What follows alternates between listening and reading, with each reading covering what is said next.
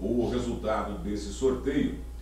O sorteio dos nomes das crianças e adolescentes que se inscreveram para participar do projeto social Bombeiros do Futuro foi realizado na manhã desta sexta-feira, em transmissão ao vivo na 5 Companhia Independente de Corpos de Bombeiros de Nova Mutum. No total, teve 236 inscritos e 210 inscrições válidas.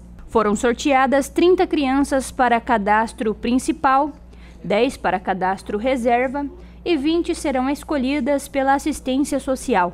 A equipe do Corpo de Bombeiros estarão entrando em contato com os sorteados para finalizar as inscrições. Antes de mais nada, a gente vai entrar em contato tá, com todo mundo que foi sorteado para passar mais informações de quais documentações vocês terão que trazer para a gente, para que a gente termine de finalizar as inscrições de vocês. Tá? Com relação à ansiosidade, infelizmente, ninguém consegue controlar tá? o futuro, somente o presente. Então, mantenham-se calmas e tenham a certeza que vocês serão cobradas. Tá? Tudo que um militar é cobrado, vocês também serão cobradas. Corte de cabelo, disciplina, horário, mas também farão as partes legais, tá? Terão noções de combate a incêndio, noções de salvamento aquático, noções de salvamento em altura, fazendo um rapel.